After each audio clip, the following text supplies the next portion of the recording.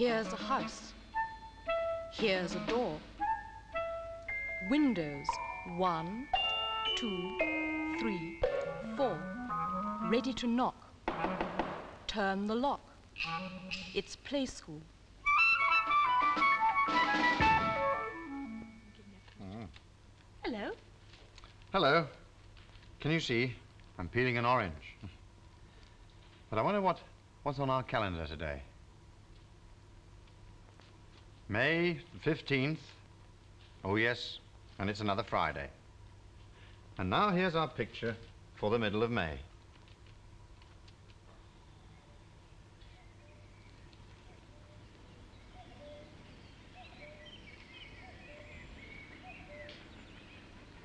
Lambs are growing up.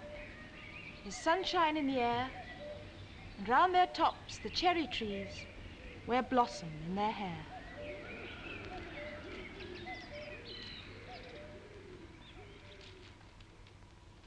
Thank you. I love oranges, don't you? Mm. I'm going to take a quarter. Mm. Oh, juicy. Oh, I've got a pip. So have I. You know, I've heard say that if you plant one of these, if you're very clever, you can grow an orange tree. Really? Shall we try that later? Mm. But first of all, we're going to sing a song. It's not about an orange, but it's about a cherry, isn't it? Well, actually, it's about a cherry, a chicken, and a baby. Would you like me to tell you the words? They're quite interesting. I gave my love a cherry that had no stone. I gave my love a chicken that had no bone. I told my love a story that had no end. I gave my love a baby with no crying. How can there be a cherry that has no stone? How can there be a chicken that has no bone? How can there be a story that has no end? How can there be a baby that's no crying? Here are the answers. A cherry, when in blossom, it has no stone. A chicken, when a pipping, that's when it's in the egg. It has no bone. The story of my loving, it has no end. A baby, when it's sleeping, there's no crying.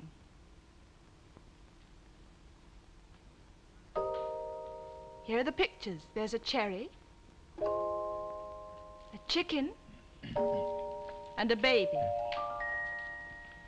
I gave my love a cherry that had no stone. I gave my love a chicken that had no bone. I told my love a story that had no end. I gave my love a baby that's no crying. How can there be a cherry that has no stone? How can there be a chicken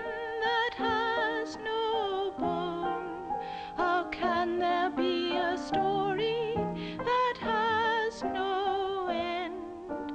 How can there be a baby that's no crying? A cherry when in blossom, it has no stone. A chicken when a pipping, it has no. The story of my loving, it has no end. A baby when it's sleeping, there's no crying.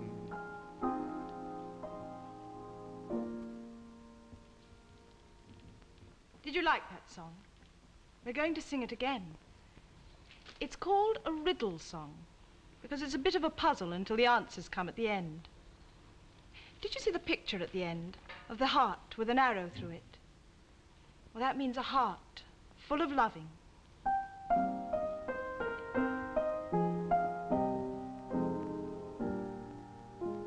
I gave my love a cherry that had no stone. I gave my love a chicken that had no bone. I told my love a story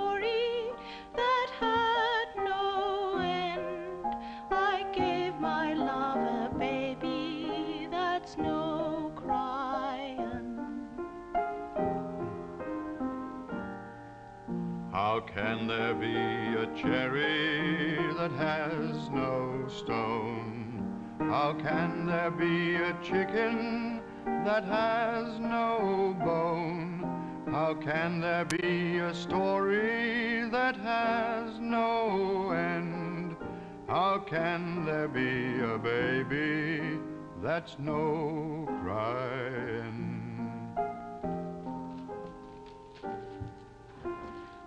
Cherry when in blossom it has no stone. A chicken when a pippin it has no bone. The story of my lovin' it has no end. A baby when it's sleepin' there's no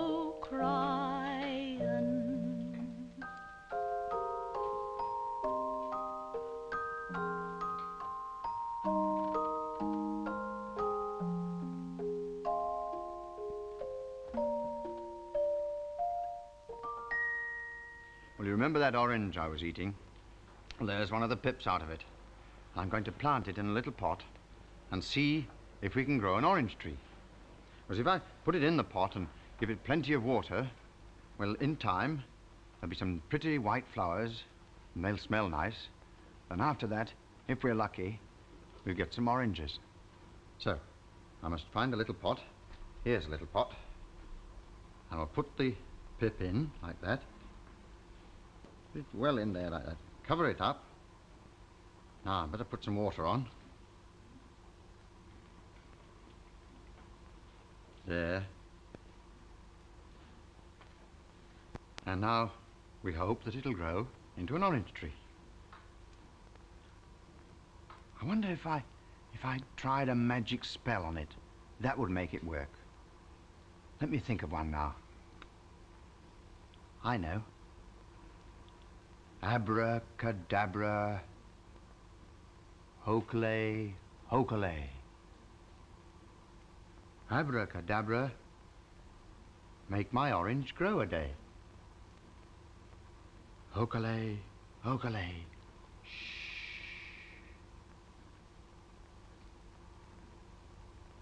That should do it. Well now, if I leave it there like that, I'll forget that there's an orange pip in there and I'll wonder what's in it. So I'd better put a little marker on it. Now here we are, there's a marker. So I'll just cut it down here a bit because I've got a, a marvellous idea here. Now, I'll put that in there. And what I'm going to do now is cut an orange out of this cardboard here. Round. Round. Round. And I'll put a little stalk on it. If I can.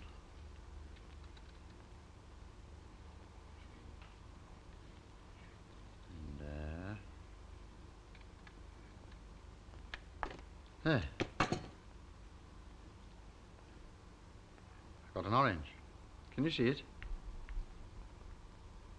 And later on, when it's growing, I'll know that that's an orange tree. I'll just put it in there like that. There. Now, when the orange tree has grown to about there, I'll take it out of the little pot and put it in the flower tub. No, no, no. It's not a flower, is it? It's a fruit. So I better put it in the fruit tub. There's the fruit tub. And in it we have the strawberries. that Brian planted. Wonder how they're getting on. Oh, yes, they're coming on beautiful. Lovely long runners coming off them. And there's a little white flower. Can you see it? Well, that's the start of a strawberry. And soon, when, when there are all strawberries all over, I'll come and nip in and eat them all up before Brian gets here. Not really. I'll, I'll save him one or two. I'm looking forward to that. Now, what else have we got? Well, there's the, there's the flower tub. Here's the flower tub. Got a flower on it. And what have we got in here? Ah, yes, we planted four anemone seeds. There's only three of them come up. Look, one, two, three. Nothing's happened here, so that happens sometimes with plants. Sometimes they grow, sometimes they don't. But we're lucky we've got three anyway. And that's got a nice long stalk on it and some lovely green leaves. And when there's lots of green leaves, then after that, if we're lucky, there may be some flowers. And that's the anemones. Now then, what have we down here? The vegetable tub. And we've got a lovely row of lettuces. And they're coming along very nicely. Well, when they're grown, they'll be all right for George the rabbit. Make him a nice salad. I think it's time to water them, really. Because you've got to keep them watered, and then they won't die, because they get very, very thirsty. So here we are. I'll water the lettuces. One, two, three, four, five, six, seven, eight. Eight fine lettuces. There. Now the anemones. One, two, three. I'll put some there, and just in case he's a bit slow coming up. And now the strawberries. One, two, three, four, five, the one with the flower, and six, one in the middle, who's very thirsty. There. And now it's story time. And today's story is rather a funny one. David Kossoff's here to tell us all about it. But before we join him, let's have a look at the clock. I wonder what's round it today.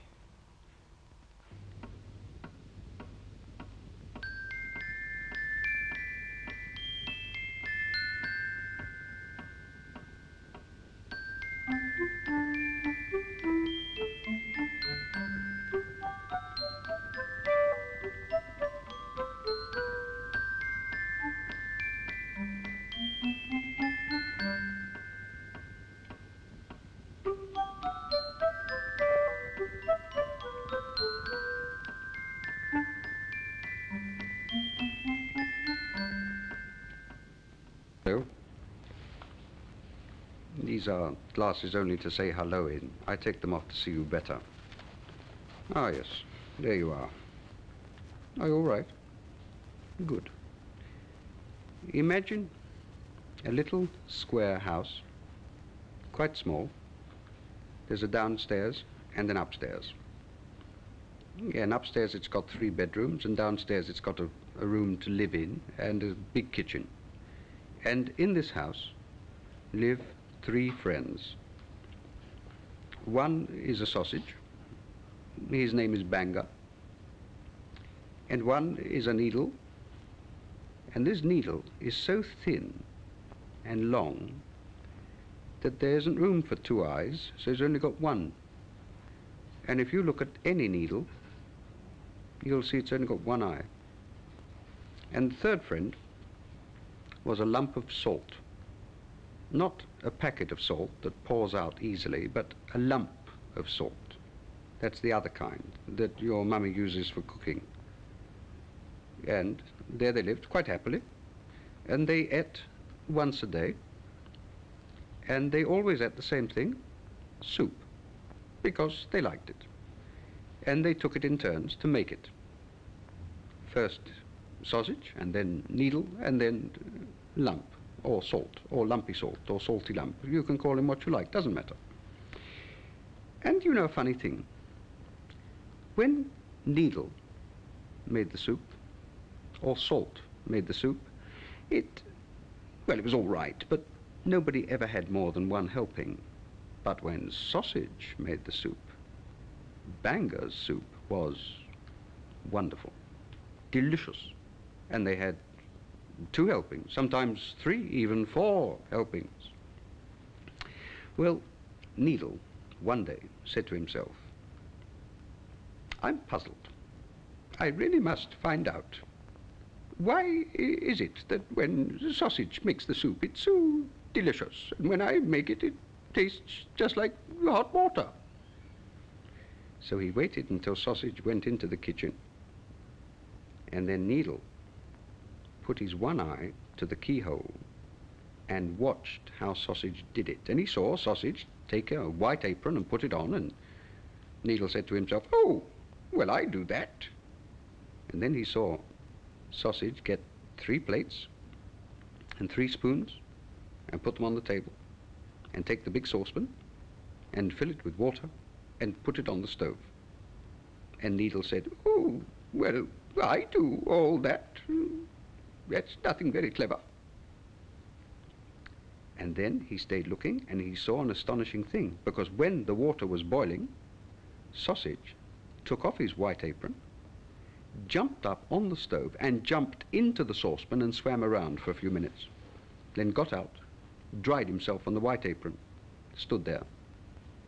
Then he rang the little bell to call his two friends and they came down and they had the soup and it was, as usual, delicious and they had two helpings. Three, in fact. When it was Needle's turn, he did all those things, looked around, took off his apron, jumped into the soup, lay there for a little while, got out, dried himself, wiped the water out of his one eye, rang the bell, and they all came down for supper. And when they tasted the soup, poor Salt, she said, "Wha- wha- wha- wha- what have you done? What, it, it, it's dreadful. It tastes of old pins and uh, pen nibs. It's dreadful. What have you done? And Sausage, who was rather polite, didn't say quite as much, but nearly as much. And poor Needle felt very bad. He said, well, it's... The plan went wrong. I'm very sorry. And he took the rest of the soup and threw it away. Now, Salt also looked through the keyhole next time and also saw how Sausage had done it. And she decided to do the same. So when it was her turn, she got everything ready. Three plates, three spoons, saucepan full of water, on the stove, set it to boil. When it was hot, in she jumped. Didn't stay in too long because it was rather hot. When she got out, she noticed a strange thing. She was a bit thinner. She rang the bell. Two friends walked in. They said, Oh, oh, said Needle. You, you, you've gone all slim. Oh, dear. And Sausage said, Oh, I think I rather like you like that. You look. Well, I think it suits you to be a little bit thinner. You were, let's face it, a bit lumpy. And they had their supper. It was undrinkable. It was so salty, they made terrible faces. Dreadful faces. Sausage said, I, I, I can't eat it. And Needle said, It's absolutely dreadful. And then poor Salt confessed what she'd done. And Sausage was rather cross. He said, I know I make the best soup, and that's why I made you promise not to watch me. And you've both stolen my secrets, and you, just can't do it as well. Now, you must promise me you won't do it anymore. Now, listen, Needle. Said, if you jump in the hot water, you'll just get brown and nasty. And we'll have to call you nasty names like Old Rusty and things like that. And as for you, Salt, he said, if you jump in once more, you'll just disappear. Now, don't be so silly. And they promised, and they went back to as it was before. Twice out of three times, the soup tasted just like hot water. But on the day that sausage made it, it was delicious. And on that day, they had two helpings. Sometimes three. Sometimes even four.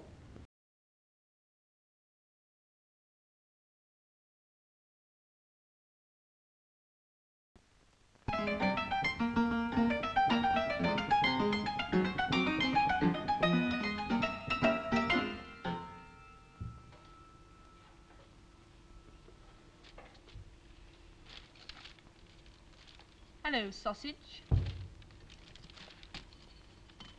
Hello, salt. Hello, needle. Would you like to do a dance? We have some music for you.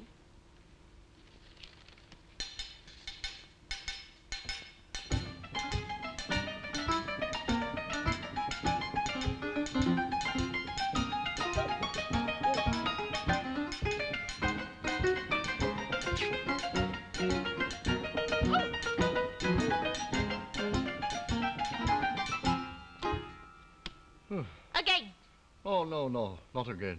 Yes, again. No, not again. Yes. No. Yes. No. Yes, yes. No, no. Yes, yes, yes, yes. No, no, no, no, no, no, no, no, no, no, no, no.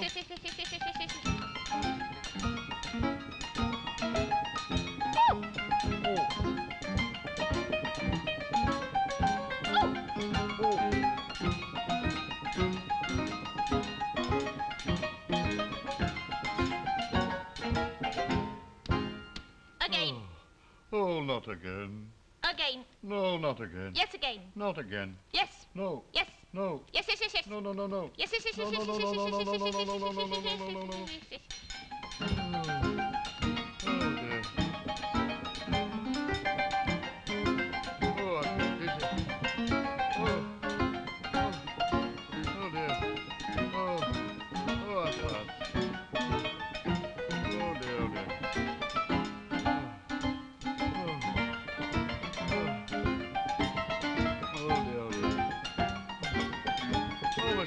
Oh, the breadcrumbs are coming out. Oh. Oh. There. Did you like that dance?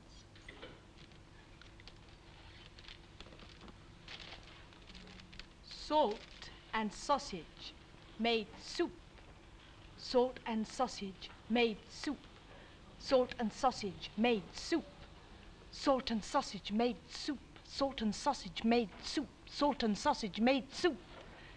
Can you say that? Very quickly and very quietly. Ready? Salt and sausage made soup, salt and sausage made soup, salt and sausage made soup, salt and sausage made soup, salt and sausage made soup, salt and sausage made soup.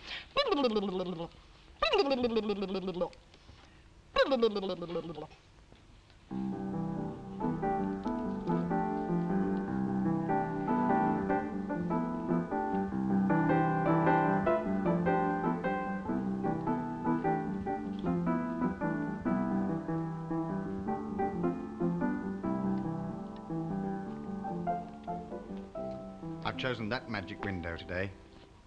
Because on Fridays, you know, we always go and visit a school and see what other children are doing. You coming? Come on then, through this window.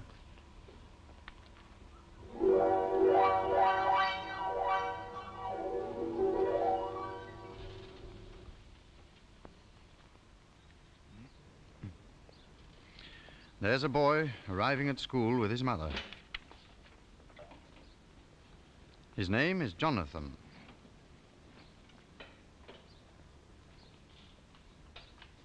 As he passes the school window, he sees some of his friends waiting for him inside.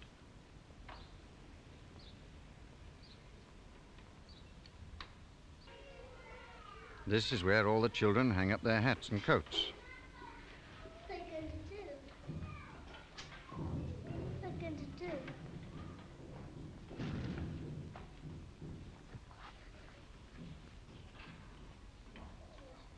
All the boys and girls have their own pegs, And each peg has a different picture beside it. In school, you have your own bag to keep things in.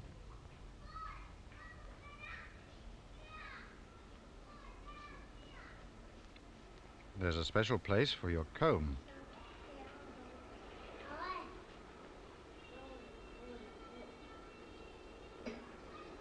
You have your own cup and a face flannel, and all these things have the same picture on them, so that you'll know which is yours. School's got everything, just like at home.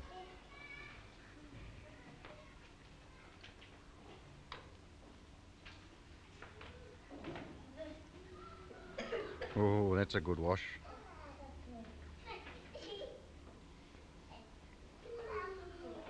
Boots to put on when it's wet or muddy.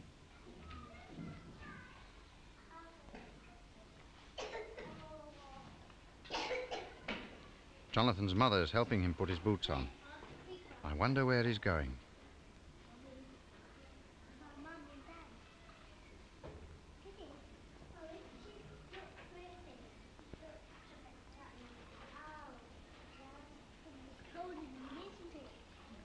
His mother is going off to do the shopping and clean the house. She'll call back when he's finished school for the day. But until then, there's a big garden and lots of other children for him to play with.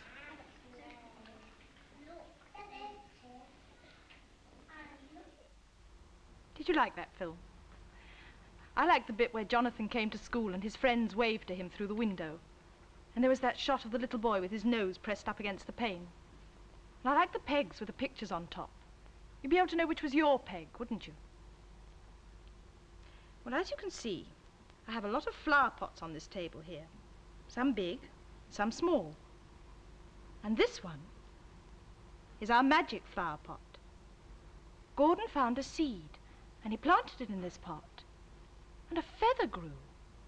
So it must have been a magic pot. Shall we have a closer look at it? Yes, there's the feather. And it looks an ordinary sort of feather to me.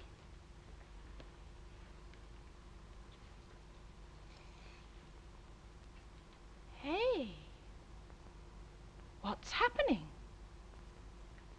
What's happening?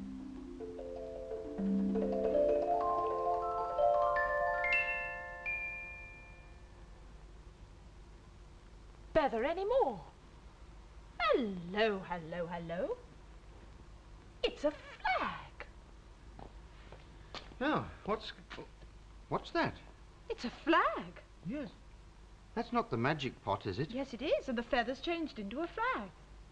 Well, I started something when I did that, didn't I? When I planted that seed. Now, what have we had? We've had a, a feather Mhm. and now a flag. Mm. I wonder what it will turn into next week. We'll have to wait and see, won't we? Oh, look. There's the mustard and cress. Yes, that was planted two weeks ago. It has, gr- has grown, very hasn't it? I should think in another week, when it's up to about there, it'll be ready for George to have with his salad. Mm. He'll That'll be nice, that. won't it? oh, I'll just put some more water on it, though, Yes. just to make sure. Yes, there we are. Well, it's time for us to go now, so goodbye from us until it's time for us to be with you again. Goodbye. Now, would Yes? you help me stack these into the shape of a pyramid? Oh, I'd rather do it in a tower. Oh, Yes, let's.